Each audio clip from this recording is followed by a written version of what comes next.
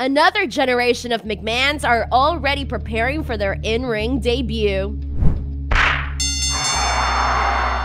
Hey everyone, I'm Denise Salcedo and you're watching the Sportster News. Shane and Stephanie have followed in their father's footsteps and it seems even more McMahons will be entering the ring and be part of WWE in the future. That's according to Stephanie McMahon, who recently revealed to Talk Sport that hers and Triple H's oldest daughter have already started training. She said, quote, just like her grandfather, she wants to be the boss. So we'll see what happens when my oldest daughter, who has already started training in the ring. The WWE Power Couple's older daughter is 15 and is named Aurora.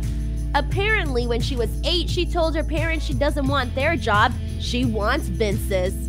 Since Aurora is only 15, her in ring debut is still a long way off. It's exciting to think that there is another generation of McMahons waiting in the wings, not just Triple H and Stephanie's three daughters, but also Shane's three sons.